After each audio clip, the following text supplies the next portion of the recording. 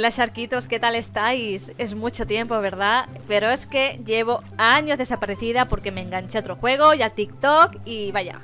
Vamos al grano. Eh, todos estos logros de dominio que decís que no os lográis encontrar por ningún lado son partes de muchos logros más de Ends of Dragons, ¿vale? Tenéis que hacer todo esto.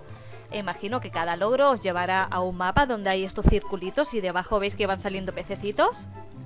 Lamentablemente, como no tengo la expansión, no os puedo guiar mapa por mapa haciendo estos logros, pero bueno, yo ya os aconsejo que tengáis la expansión, hacéis todos los logros, la historia, hasta llegar a la zona de pesca. Hasta luego.